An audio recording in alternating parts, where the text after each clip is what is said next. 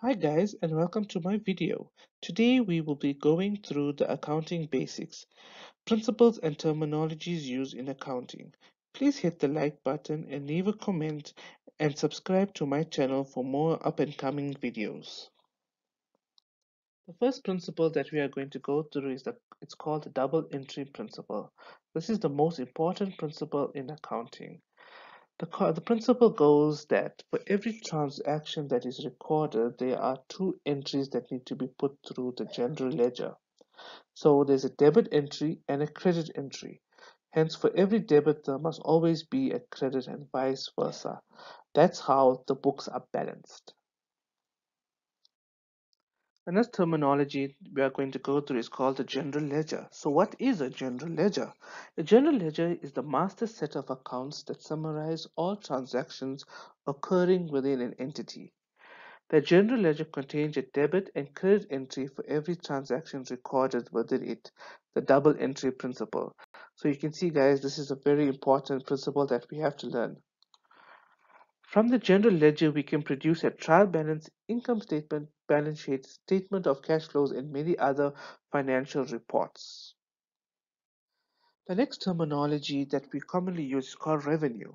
Revenue is often referred to as sales. It is the income received from normal business operations and other business activities. We also get two types of income. We get operating income, which is income derived from normal business operations such as sales of goods and or other services.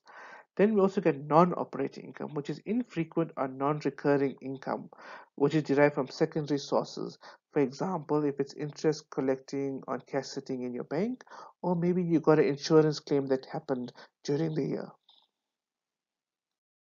Expenses. So what are business expenses? An expense is the cost of operations that a company incurs to generate revenue. Common expenses include payments to suppliers, employee wages, factory leases, utilities, etc. You also get two types of expenses. You get the operating expense. Operating expenses related to a company's main activities, such as cost of goods, administrative fees, and rental. Then you also get non-operating expenses. Expenses not directly related to the business core operations. Common examples include interest charges and other associated borrowing costs. Assets equals owner's equity plus liabilities. This is also another very important concept in accounting. Without this, our balance sheet will not balance and we cannot have reliable financial information. So what does this mean? So if we have all our assets, whether it's property, buildings, vehicles, stock, cash, that is equal to the owner's equity, which is basically whatever funds the owner put into the business as his personal capital, plus liabilities that that was secured through the business, either through loans, uh, through mortgages, or any other liabilities that it's sitting with the business in terms of tax, maybe some supplies still to be made. So that's how the whole formula works. So all your assets is equal to owner's equity plus liabilities. Okay, so let's break down what is an asset. An asset is a resource with economic value that an individual, a corporation, or country owns or controls with the expectation that it will provide a future benefit. Assets are reported on a company's balance sheet and are bought or created to increase a firm's value or benefit the firm's operations. And assets can be thought of something that is in future can generate cash flow, reduce expenses, or improve sales, regardless of whether it's manufacturing equipment, which is a tangible asset, which is something that you can feel, or a patent or an IP, which is an intangible asset, which you cannot actually feel, but it is giving you economic value. Okay, so there are also two types of assets. You get non-current or fixed assets, and you also get current assets. So what is a non-current or fixed asset? Those are long-term resources. That's basically where we, can get economic benefit for many, many, many years from that asset. An example of that is plant and equipment and buildings or vehicle, etc., where you get many years of economic recurring value from that asset. A current asset is a short-term economic resource where that, uh, where that resource can be converted to cash in less than a year's time. Those are normally cash in your bank, uh, stock, and your debtors. Okay, so let's break down what's liabilities in the equation.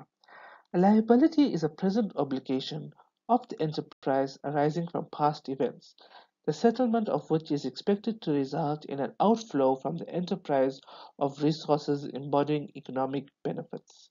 So let's break down a bit. Let's break that down a bit.